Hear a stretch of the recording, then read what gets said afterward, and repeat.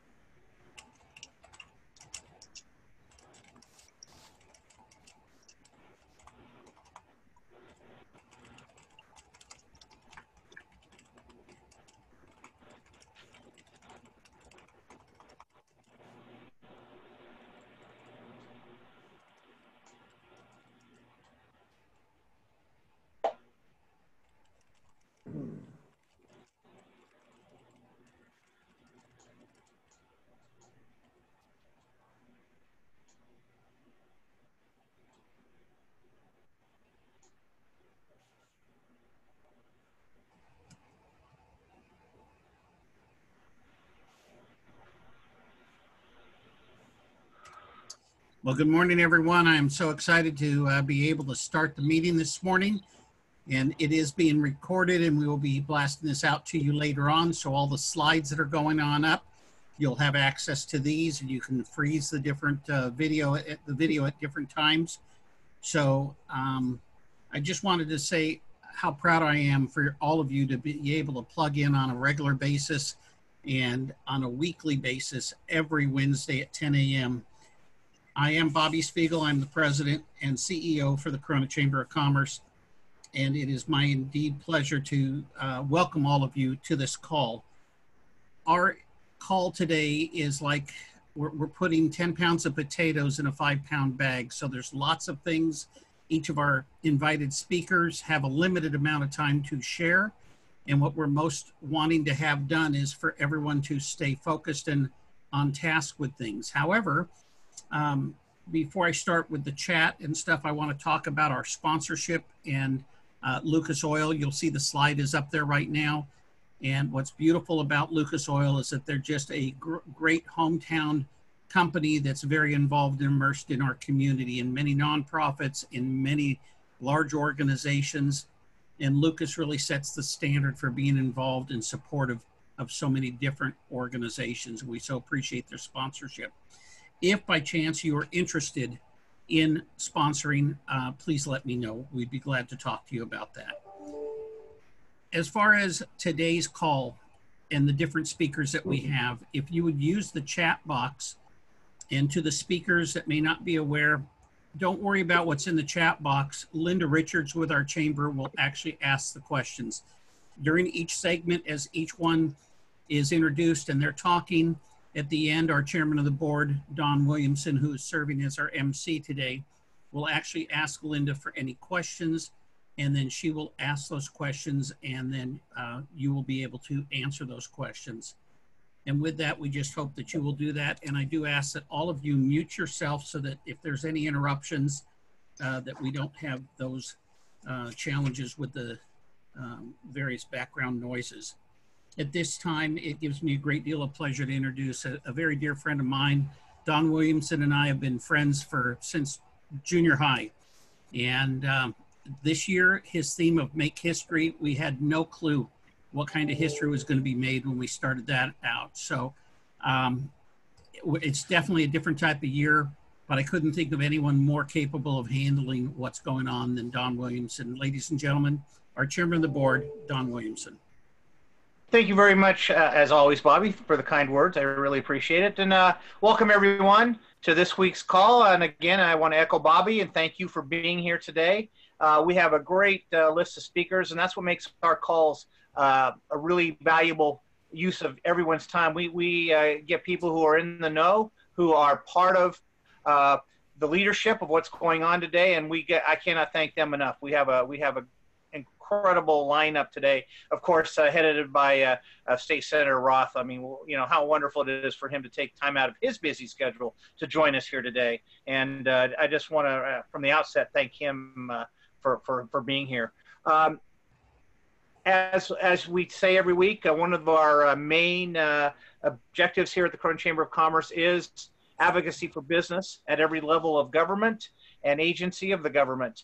And as part of that, we have uh, a, a, group at uh, the Legislative Action Committee that that is what they function as to keep uh, our chamber informed and to make sure that what we consider good for our chamber and our local business community is put on the table and made aware. And we and uh, our chairman of our advocacy outreach is a member of our board of uh, the Corona Chamber of Commerce, and that is Anthony Edwards from Robertson's Ready Mix. And uh, at this time, I would like to turn it over to Anthony for a segment on our Legislative Action Committee efforts. Anthony? Thank you so much. Uh, can everyone hear me well? Yes, you're fine. Thank you. Fantastic. Uh, I want to you know, thank everyone for uh, jumping on the call. I think the the call is a great way to get everyone involved without having to, you know, include the the travel time. And I think getting as many people involved as possible is is the best way to move forward. And I really appreciate, uh, you know, uh, the senator for jumping on with us. That's uh, an incredible treat uh, that we don't normally get. So that's that's awesome. Uh, today, I want to introduce uh, Jeff Gibson from Occidental Communications. He's our advocacy and uh, legislative advisor. So, if you have any questions in regards to any sort of legislative matters and how bills affect, you know, businesses and small businesses alike, um, you know, definitely reach out to the chamber and or myself or Jeff, and you know, we'll definitely try to reach uh, an answer for you. Jeff's going to be today giving us an update on I think three different legislative bills that are you know coming down the pipeline. So you know, stay tuned for that. So uh, Jeff, if you are on, I will kick this off to yourself. Sure, great, thank you, Anthony. I appreciate that. Uh, every week we've come to you with a, a short legislative update. Today we're going to have a, a, little bit more uh, take advantage of the senator being here as well.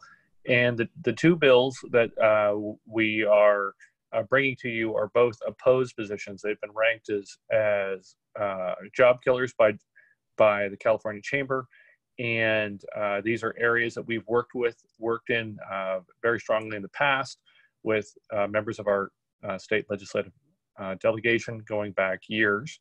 And the first is AB 196 by Assemblywoman Gonzalez from San Diego. Both of these bills are, are from uh, the assembly member down in San Diego. She's the head of the labor committee.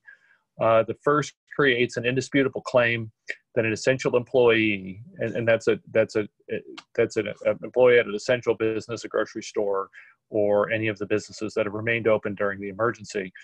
If one of those employees unfortunately comes down uh, with uh, C19 in any uh, in any aspect of their life, they can create an, an indisputable claim that the um, that it was as a result of their employment uh, and uh, have a workers' compensation claim. Now, there are a number of people that have caught uh, the disease, unfortunately, uh, but, uh, caught the virus, unfortunately, at their place of, of work. We've seen that. Uh, we, we know that to be the case. This would actually create a blanket indisputable claim that if any employee at a business that has remained open uh, uh, comes down with the virus, uh, that they could file a workers' compensation claim. As, as, as the legislature is going through the process of determining uh, responsibility and financial issues uh, around the emergency, uh, we feel that obviously this is going to be a, a very large hit on the workers' compensation system and on employers directly. So uh, we urge and, urge and oppose and would be happy to um, get the, uh, the consent of everyone on the, the call. So Don, Any, we, we need to go ahead and have a motion. Yep. So. Okay, uh, we're uh, looking for a motion uh, for the consent of everyone on the call, as Jeff just explained. So uh, if you are in favor of our taking that position, please indicate so position, yeah. with an with a I.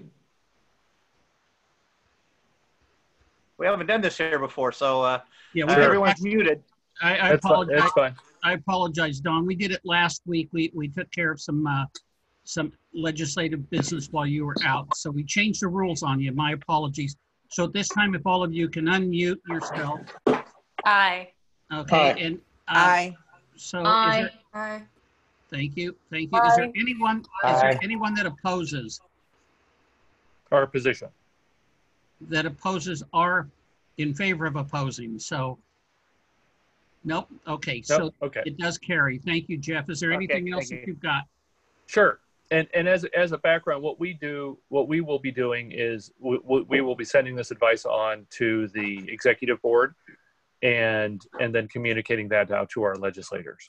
Uh, AB thirty seventy five, also by Lorena Gonzalez, uh, Democrat from San Diego, uh, would allow regions to set up essentially uh, wage and work rule uh, standards boards uh, that could exceed uh, state minimum wage and other regulatory uh, actions. Now, we have consistently, as a chamber, encouraged the state to leave this, leave these issues to employers and employees uh, within the current regulatory scheme. And so, this is going to create regional issues if you have uh, any sort of agent, if you have any sort of your any part of your business that is outside the region, this ends up becoming a uh, will end up becoming a major problem because now what you pay your employees in one part of the state is going to have to be different uh, than another part of the state, and it's going to be out of your hands. And so that's the, that's a major concern of of uh, of ours, and and uh, the, and we agree with Cal Chamber that it's a job killer. So looking for um, uh, a, a- another, uh, I would say, uh, consent advice. So, uh, all those in favor of us opposing this uh, and advising the executive committee to oppose this, please signify by saying aye. So again, all of you, if you could unmute yourself. Thank you. Aye. Aye. Aye. Any opposed? Okay, great. Okay, with that, You we got it. we will advise the e- executive committee appropriately, and uh, we appreciate it. So the uh, and not to step on the senator's remarks too too uh, too much, but the legislature is currently um, in recess. His, his work continues on as uh, as one of the leaders on the budget, uh, but the assembly has decided that it will likely be out longer than the announced July 13th return date uh, because of an outbreak of COVID 19 uh, amongst the uh, staff. And uh, one of the members uh, has concern that she may have caught, uh, caught the virus on the floor of the assembly via someone's mask. So while they're sorting that out, it's very likely that, that they will extend the uh, summer recess so that it, it uh, probably will extend until July 27th was what we were hearing yesterday. That's not official. That's something that uh, was bandied about yesterday. Currently, the it was scheduled to, to come back on uh, uh, early next week. Um, so because the, the state lost several several weeks during the emergency, so uh, we will be tracking that, and I'm sure the senator is much more um, is is a much more appropriate person to comment on that than me. So, in any case, with that, we're wrapped up, and back to you guys. Thank you very much, Jeff. Uh, Linda, do we have any questions in the in the uh, queue for uh, Jeff? No questions. Okay, great. Jeff, thank you very much. We appreciate your input today and uh, the time that you gave us. Uh, with that, we will move on to our next guest. It is my pleasure to introduce today our city manager here from the city of Corona, who has uh, someone to introduce to the Chamber of Commerce today. So I would like to turn it over to uh, Jacob Ellis. Thank you, Don. It's really nice to be with you guys this morning. Um, it is my pleasure to be able to introduce Jessica Gonzales, who is our brand new Economic Development Director for the City of Corona. Um, Jessica's in her second week with the city. Uh, we're really excited to have Jessica join the team, and, and I'm looking forward to having someone of her caliber and talent uh, working on behalf of Corona residents and businesses. Um, I'm going to turn this over to Jessica now to give her a chance just to tell us and tell all of you a little bit more about herself and uh, a little bit of her background. Thank you, Jacob. And are you all able to hear me? Yes. Yes. Excellent. Perfect. Well, thank you, Bobby and the Corona Chamber for inviting me this morning to share a few words and really participate with your group. As Jacob mentioned, this is my second week here in the great city of Corona, and I'm very pleased to have joined a community I can tell you where ultimately I can see that we value the collaboration with our business leaders, being our chamber. Prior to joining Corona, I worked for the cities of Anaheim and Lake Forest um, and also Santa Ana. And in this regard, I was spearheading uh, business attraction, development, and of course now business recovery and resiliency efforts.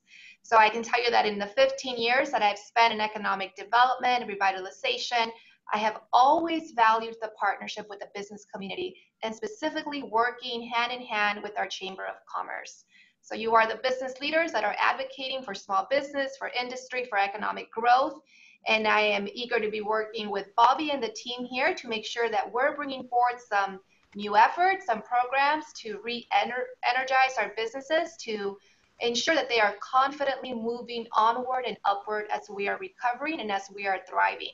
So I know there will be more to come in terms of the partnership here, but I want to thank you and let you know that I'm excited to have joined such a wonderful organization. Jessica, I just wanted to say welcome again, and you and I have had some side conversations, but I wanted everyone to remember last week when Rob Moran, who's with the county of Riverside, heard that you were joining the team here in Corona. He was elated and had very positive comments about being able to work together with you. You both serve on a uh, statewide board, and I know that you are on many different boards, which will be a plus for our business community and for our city. So welcome on behalf of the business community. We're looking for great things to do together. Thank you, Bobby. Absolutely. And on that note, yes, there are so many partnerships out there that I'm pleased and honored to be part of. And I'm looking forward to leveraging those partnerships, those tools, that information to make sure that we are positioning Corona in the best way possible to attract businesses, to ensure that they are investing, they're contributing to our local workforce, and that we are uh, being a partner and supporting them. So thank you, Bobby. Thank you. Donnie, back to you. Okay, great. Uh, and I, I, too, Jessica, would like to welcome you here. Look forward to meeting you and spending some time with you at some point. And uh, uh, know that uh, you'll be a good addition to uh, the Circle City. Uh, do we have any questions for either Jessica or for Mr. Ellis, Linda? No questions at this time. Okay, thank you. Thank you. Uh, thank you very much, Jacob and Jessica, for being here this morning. Thank you. And, and again, welcome uh, to Jessica. Uh, now we're going to turn our time over to uh, our Riverside County Supervisor, Karen Spiegel, who's had a very busy week and there's been a lot of developments. So at this time, I'd like to turn over to Karen lots of developments, even though we're all kind of a little bit slower pace. So they say. These Zoom calls, I don't know if you're finding, are very draining also. Um, we're still working. Don't forget that. We got business that has to continue on even amidst a pandemic, so we cannot forget that. But business will not continue to work and will not get back to normal or a new normal, whatever you want to call it, unless we take heed to the recommendations by the state. And the Riverside County, if you remember right, when we rescinded our orders to be in line with the state, that means we are in line with the state. And I have to continually remind everybody we never said not to wear masks. We are 100% behind our governor's mandate of wearing masks because, as you can tell, we have had such a surge. And in two or three weeks following the July 4th weekend, we're anticipating even a greater surge. We have to remind you, and I hope you take this to your friends, your family, your business folks. We need to adhere to wearing masks. I know some of you are strongly opposed, but we're seeing a rise, uh, severe rise, and it will only get worse if we do not do the social and it's really physical distancing of six feet, washing of our hands regularly, and again of the face mask. Sometimes they're a pain, I realize it. Um, there's times and places, if you're running, you don't need to wear the mask, but carry it with you in case you get close to people. It is not just for your safety, but it's also for those around you we really want to make sure we don't spread this. Um, if you have any information on anything with COVID, um, the, the email address would, or the uh, website is rivco, R-I-V-C-O-P-H dot org. When I'm done, I'll put all these websites on there. All your answers, every press release, all the information, it's very comprehensive. Please, if you've got questions, call us, go on the website, because we want all of us to be successful, and we can't be successful if we don't work together. Um, in the meantime, you may come across a contact tracer. Some of you feel a conspiracy on this. It's not. The sole purpose is to reduce the spread. If you have been tested positive, we're tracing back to the people you could have come in contact with. For A, to find out where you picked it up, and B, so we can kind of help those that may have been around. We don't use your name. Um, unless of course you want to give permission. It's very, very private. The information is not given to anybody else, and that's important for you to understand. So I do want to continue to, to say, please work with the contact tracers. It's for your family, it's for you, it's for everybody to, to help get this disease under control. But that being said, before I move on to some of the grants, I just want to mention about in the middle of all this, we are finalizing the census.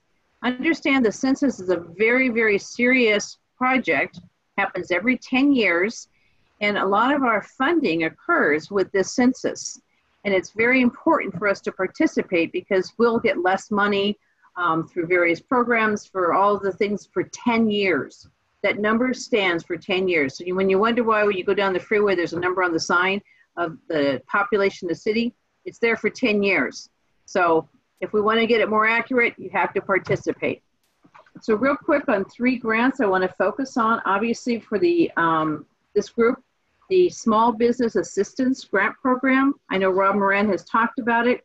We took your voices and we are coming back out. This time we're including sole proprietors that don't have employees. There are many small businesses that it may just be a mom and pop shop. And those are the bread and butter of our economy. Those of you don't recognize that, that is 85% of our businesses here. We also have um, businesses that have received some of the SBA economic injury disaster loan or advance may be able to participate again or will be. So we're trying to make some changes on the second round so that we can um, reach out and benefit many more of our businesses. That is also, I'll have that in the chat box on that email address. The amounts run through um, up to $10,000 and it will go until August 31st at 5 p.m. or until the funds are exhausted. The next one is I um, wanted to make sure everybody was aware the nonprofit grants opened on July 1st. That's something, those of you know me, I'm passionate about nonprofits. They fill some of the gaps in our economy and our government, unable to meet some of the needs of our community. Those grants are 2,500 up to 10,000. 501c3s and 501c6s. And um, that is being run by our Inland Empire Community Foundation. They're overseeing it, and the whole process goes through them. And I will put that website also in the chat box. Then the third one is rental assistance help. It's called uh, United Lift. And this is a rental assistance program that's coordinated between Riverside County, United Way of the Inland Valleys, and Lift to Rise. And the goal is of keeping about 10,000 families and residents in their houses. And so this is a special program. We've set aside about $33 million of rent assistance of COVID dollars for the months of June through November. And um, the uh, United Way of Inland Valleys will be administering the program. And the first round will be um, dispersed this month. So if you know of anybody or yourself is included, we know that people have lost their jobs and don't have the monies that they used to have. So we're hoping that this will help in um, getting us through some of the tough times. If you have any questions, feel free to ask, call me. Most of you know how to get a hold of me. And um, with that, I just put them in the box for some of these um, email addresses or websites. And thank you very much. Thank you, Karen. Uh, Supervisor, are we uh, have Mr. Moran here today? No, he's not. That's why I covered some of the business grants. Great. Okay. thank you so much. Thank you for the good work you do on our behalf. We uh, appreciate the information you uh, consistently participate here every week, and, and just want to thank you very much. Uh, Linda, do we have any questions for Supervisor Spiegel? I had one question about whether we're going to be opening more testing sites with the surge of demand for testing. Um, we are trying to open more, but the, we still have uh, dates open. I know there was a problem with the website. We're trying to get a new flyer up that should be up today. I'm hoping with all the test sites. We have we have a whole set of state testing sites as well as county testing sites. So there are two different phone numbers. Please go on the website. You will find that. Um, so we already have, I think, 16 test sites up. We do do um, some sites that we go to various places for high demand. If they're off the beaten track, we can uh, congregate several um, testing at one time. So if you have any questions on the testing or couldn't find, uh, please just give me a call or, or email me. Thank you. Linda, anything else? No additional questions. Okay. Again, thank you, thank you, Supervisor Spiegel, and uh, we really appreciate uh, your being being here today with us.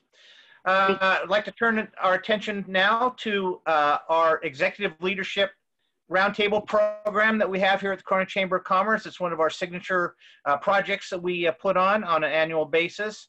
And a member of this year's class is Mark Edwards from Empire Energy Solutions. And I would like to turn the time over to my friend Mark Edwards. Mark. All right, thank you so much, Don. I appreciate it. Uh, first off, I'd like to uh, compliment uh, Bobby and Linda for putting on a, a, great program for us. And I believe the 2020 program is the best ever. I think I heard that a couple times. Um, but, uh, you know, who, who's counting? Uh, just a couple personal highlights um, uh, of the program. March Air Reserve Base was just incredible. the unmanned aircraft, fighter jets getting up close and personal there, Homeland Defense, NAVSEA and uh, Norco. Uh, just visiting those um, uh, facilities was just outstanding. And then the exposure to companies like AFE, and these are national companies, VegFresh, Fender, uh, and of course, our own uh, Don Williamson. I, am a uh, historian by heart as well, and that was actually one of my favorite days. And if you think you know Corona, think again. Until you are able to spend a day with him, then you, will realize exactly how uninformed you are about what goes on in Corona. So, um, and ELR is a, a great program where we forged uh, some friendships, uh, business contacts that uh, I think are going to last uh, a lifetime. Uh, so, uh, getting on to what it is that this year's 2020 team decided to take a, take upon ourselves um, was more than just a PB&J, and I know you've heard that before. And um, it was born out of us visiting that site out at March Air Force Base. And uh, back in 1941, uh, we had about 30,000 troops going through uh, March Air Force Base at the time. And uh, the, the, troops would be there anywhere from three days, uh, you know, or more uh, to deploy and then to come back. And hopefully they're able to come back safely. so here we are in 2020. And as we went through that facility, we, we, saw that there was a need for a major kitchen expansion. the PB&J was a, a nice taste of home. Uh, but we wanted to offer them a little bit more uh, for them putting their lives on the line and actually being mm-hmm. deployed out of uh, that uh, facility. Uh, so a couple of things that we have um, embarked upon in order to do over there is overall kitchen expansion. so refrigeration so that they can actually store perishables and ultimately provide food, hot food options for the troops that are there uh, Wi-Fi installation as well. Um, it, it, just seems uh, kind of crazy that in 2020 we don't uh, already have that there. So uh, we are uh, installing a Wi-Fi uh, for the troops that go through there. Uh, upgraded office space, and uh, one of the uh, heartwarming things that we're doing is we're allowing the troops to record book readings uh, so that their children and their families can actually hear their voice while they're uh, deployed. Uh, any anywhere from three months up to a year, they could be gone. Uh, so uh, that's a, a, nice touch that uh, we're, we're looking to, you know, afford those service members that go in and out of March Air Reserve Base. so our program is actually coming to an end uh, here in the next month, uh, but the uh, charge still moves forward in order to continue to raise money for this program. Uh, we've uh, raised uh, at this point uh, a little, uh, I think a little short, a little over fifty thousand dollars, which is a huge accomplishment. And but there's still work to be done. And so we're going to be looking to do some other programs here in the the coming months. Uh, potentially a barbecue with uh, Chef James here in um, uh, the local area, and I think Bobby's working on a few other things. so you can go to givebigcorona.com to donate. Um, any amount would would help. And uh, of course, uh, the bigger the better, uh, so that we can do as much as we can for those troops out at um, deploying in and out of March Air Force Base. so I appreciate your help with this project. Uh, we want to continue to make this big, and as I mentioned, this will go on uh, throughout uh, the balance of the year to continue to raise money for these individuals. appreciate your attention and give big. Thank you very much, Mark, for that recap and the plug for the ELR program. And I want to I want to build on uh, what Mark said about the ELR program. We're taking applications right now for the next class. As Mark said, this one is winding down, and their project is going to continue. Uh, but uh, it's uh, next year they'll have a new project again. But this one will continue, like like Mark said. But uh, as as he said, the ELR class is really a, a, great learning experience where you can get really involved with what's going on here in our not only here locally but in our region and just about every facet. So uh, I encourage you to contact the Chamber of Commerce uh, office or myself or Bobby uh, if you're interested in next year's ELR class. Thank you again, Mark. Thank you. As you know, I'm chairman this year, and this is perhaps the coolest thing that I've gotten to do is I get to introduce Senator Richard Roth. This uh, he is. I met I met Senator Roth uh, at his birthday party soon after he was elected, uh, held at the March uh, Muse- March Air Force Base Museum, and uh, it was really cool. And and ever since I first met him, he has just been involved with our community. He's not one of these guys that's a long distance uh, representative. He's here. He's always uh, responded to our chamber. He's come to our events. He is just really an impressive representative in the state senator for our region. I want to give you an example. Uh, recently, I think it was last week, there was a State Bill 1383, which was proposing a mandatory 12 week leave, week leave of absence for employers that they had to give their employees, which was really a job killer for some of the small businesses uh, that we represent here. And uh, Profile and Courage, State Senator Roth uh, did vote against that job killing bill. And uh, just want to thank him for that. And again, uh, it is an honor for me and a privilege to introduce uh, Senator Richard Roth. Senator?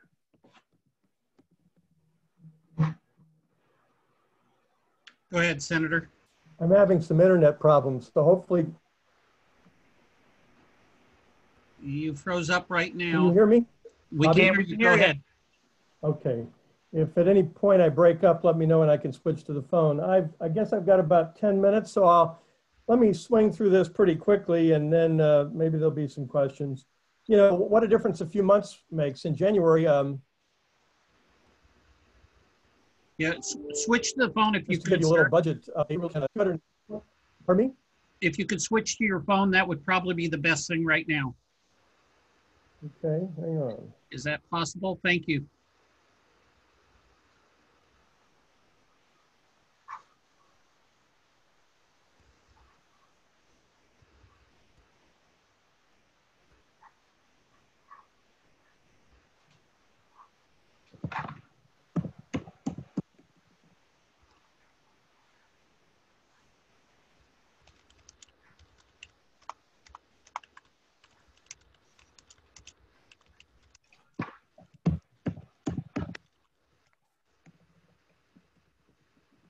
Senator, can you hear us? I can hear you fine. I've just got to get this meeting ID stuff down. Do you want me to uh, you know what? Try it now with just with what you've got with the the uh, video that as you're on. Okay. My apologies, sir. No, it's something's going wrong. Anyway, $222.2 billion. We were projecting, the governor was a surplus of 5.6 billion, and that was going to increase by about another 1.35 billion based on the uh, revenue coming in the first week of March. And then of course COVID-19 hit and we shut down before we did, so. We authorized the governor to spend about a billion dollars in response and he proceeded to do that rather quickly.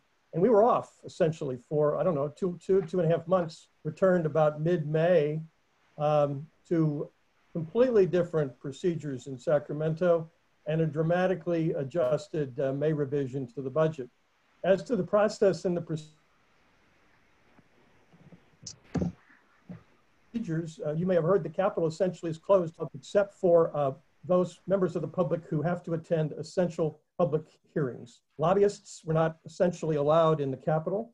There were no in-office meetings. Uh, legislators did not meet. Specifically in the Senate, our meetings, to the extent we had them, were telephonic. Occasionally we do a Zoom conference. And then when we had hearings, they were markedly different. We were restricted to, on the Senate side, two hearings a day, one in the morning, one in the afternoon. And as you know, when you were up there, many times there were multiple hearings going on at the same time. Public participation was essentially reduced to the telephone. Um, I planned, you know, I'd chair budget sub one for education, and I planned about eight hearings on the May revision. Uh, I was restricted to one hearing to do the education budget, and that's 40% of California state budget. As to bills, we were told to reduce them. In January, there were about 2,200 bills. Uh, by the time the Senate and the Assembly cut the bill load, uh, there were probably about 600 bills left, most of them on the Assembly side. Uh, the problem with the reduced number of hearings is there limited amount of time to discuss one, the budget, but two, policy. And Don mentioned one in particular, the family leave bill was a perfect example. That was floated by the governor in the budget uh, as a trailer bill. In terms of the budget, instead of a $5.6 billion surplus, the governor was projecting a $54.3 billion deficit. And he put his May revision out and designed, designed it to close that deficit to the extent possible with about $14 billion in cuts. And just to give you an idea of what the governor was going to cut, 8.1 billion in cuts to K through 14, 8.1 billion. After school education and safety program cuts, care reimbursement cuts, cuts to CSU and UC, and on and on and on, including significant cuts to healthcare providers and the elimination of the Song Brown medical residency money, which we fought for year after year, and which is helping to uh, fix our medically underserved situation in Riverside County. that none of that was acceptable to us, so we designed a budget that pretty much eliminated uh, those cuts, relied a little bit more on on our reserve accounts. And then, of course, because the governor is the third leg in the stool, we had to negotiate with the governor on the budget. Uh, the finally negotiated budget is not bad. We were able to preserve the funding for K through 14 education. That's at 8.1 billion. We preserved uh, payments to healthcare providers. We pr preserved our child care uh, reimbursement rates, uh, money for the developmentally disabled and in-home supportive services. Uh, that medical residency money remained in the budget. Special education funding was actually increased by about 645 million. By the way, the medical school money for UCR, uh, 25 million ongoing remains in the budget. So, and we also, by the way, the governor was going to eliminate Cal Grant funding for our private nonprofit colleges and universities, including Cal Baptist and La Sierra and we were able to reverse that cut and preserve. Now, some cuts remain. There's some cuts to UC and CSU that will, will go into effect. And if we receive additional federal funding or if our state revenue increases, those cuts will go away. Uh, there are other cuts um, throughout the budget, but the bottom line is um, we preserved all that we could preserve and we will finish this fiscal year with about $11.3 billion in our reserve account, including 8.35 billion in our rainy day fund. Now, that's a good thing, but it's also a bad thing because this is probably not our first budget this year. We'll probably be called back to do additional budget work depending on the state revenues once income tax returns start uh, to, to hit the state after July 15. Um, and of course, the budget deficits continue, are projected to continue into the next fiscal year, fiscal year 2021, uh, 22. So that's essentially where we are on the budget. Uh, we're now going to turn to bills if we ever get back to Sacramento. we have 490 assembly bills pending in the Senate. So, as the previous speaker noted, the assembly's had uh, multiple cases of um, COVID 19. At least one, if not two, maybe more members have been infected, along with staff. On the Senate side, we've been a little more fortunate, but we have had Senate staffers test positive for COVID 19. Uh, we have not been told on the Senate side when we are returning. We are projected to return on Monday, but I anticipate a caucus call here pretty soon to give me what the current, let me know what the current plan is in terms of our return. Uh, we do not necessarily have to follow the assembly in terms of when we go back, but I guess it's going to depend on what's going on in Sacramento. On your watch list, you should put that family leave bill that uh, Don mentioned. It did pass the Senate barely with 21 votes, and it's over on the Assembly side now if the Assembly does come back and wants to take that up. It is the number one, as I found out, it's the number one priority of the governor, of the governor's spouse, and the governor's chief of staff. That's a pretty dangerous combination in terms of trying to derail a bill like that. So I, I'll take questions um, if you have any. Uh, Linda, do we have any questions for Senator Roth? Yes. Your voting in favor of businesses is appreciated. Specific to unemployment, we are continually challenged. Can you offer any help on what a business can do when an employee refuses to come back to work?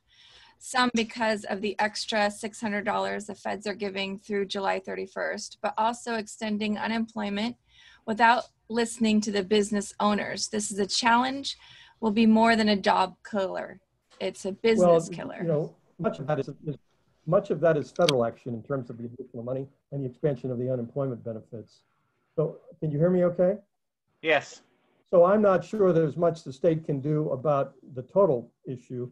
We're looking into right now uh, the issue having to do with employees re refusing to return to work, um, staying home, and continuing to receive unemployment benefits. So I, I can get back to you on that when I have more concrete information. My understanding was if a job was available, you had to return to work. So what I need to find out is whether there have been some changes. Great. Uh, Linda, any on the any, federal side um, or state side? Uh, Someone Um, asked, Senator Roth, did you say that the proposed $8.1 billion in cuts for K through 12 has been preserved as of now? no, the, the cuts have been reversed and the 8.1 billion in the budget has been preserved. Education, K through 14 education will largely um, remain funded at the proposed uh, January levels. There are some deferrals, which means we ask school districts to use some of their reserves and we pay them back. There's some hardship provisions built in there for districts that can't do that, but K through 14 will do just fine on this under this but under the current budget for now. and Senator, I want, to make clear I wasn't talking over you. You we, you were pausing. You were frozen there a little bit, so I got a little confused there. I'm not trying to talk over you at all. No problem. Uh, uh, thank you, uh, Linda. Um, uh, and do we have another question? No other questions at this time. Okay. Don, thank, uh, you, thank you very much. It's a privilege to represent all of you. Can you believe it's been eight years? No, I can't. It's time has gone so fast, and I gotta again congratulate you on on your tenacious representation of uh, our business interests here in Corona and your staff. Uh, from personal experience, Tyler, Altry, Alti, you have just a quality group of people that uh, help us when we uh, need to contact your office. And uh, I just want to thank you again for uh, the great job that you do on our behalf. Linda, did I see another question there for the senator? Uh, do you know if the extra $600 will be extended beyond July 31st? I don't, I'll answer it. I don't know if the $600 I don't know if it's been extended yet. Uh, that would be at the, So I- he's Federal frozen up level. right now, but I believe you're saying that that's on a federal level. Is that correct? yes, and then I don't know whether uh, that, Bobby, that whether that will be extended or not. Thank you, sir. Great, thank you. Okay, if that's it, uh, again, Senator, thank you. And uh, I would like to thank all of our speakers that participated here uh, this morning. Uh, this has been another great call. Uh, thanks to those who uh, have participated. And again, thank you all for uh, tuning in today.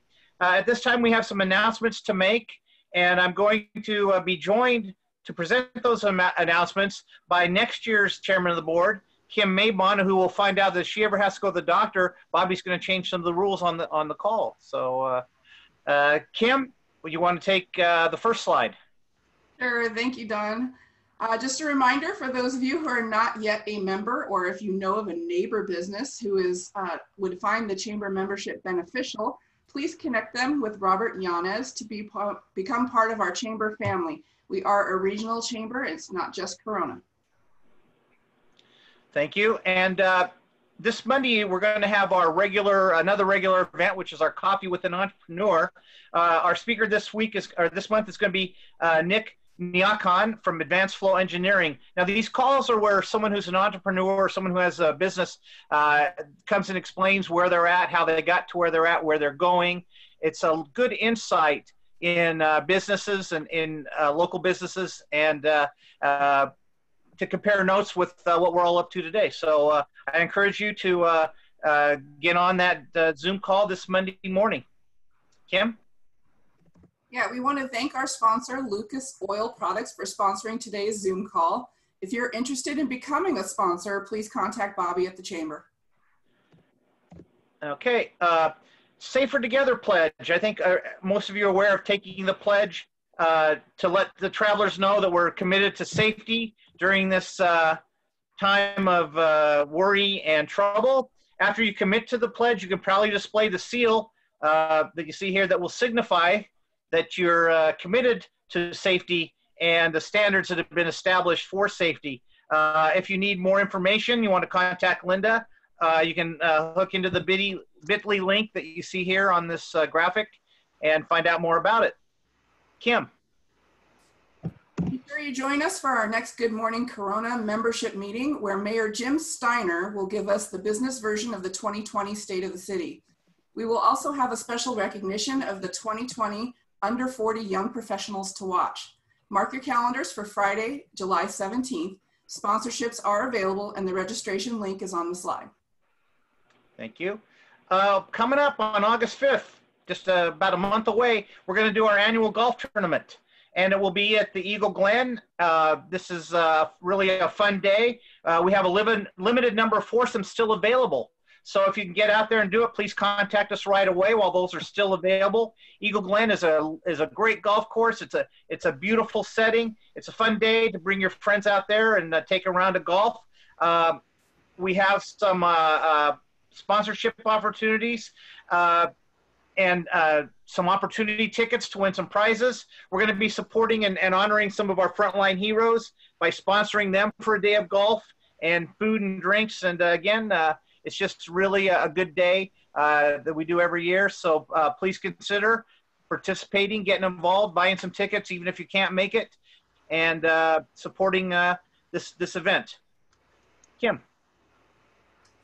The Women's Leadership Conference will be Thursday, September 4th. Make sure you get your tickets now. We are planning for a great regional event. The Corona Chamber is the host of this event. We have great speakers, including a physicians panel that will share tidbits and critical information for every attendee to receive.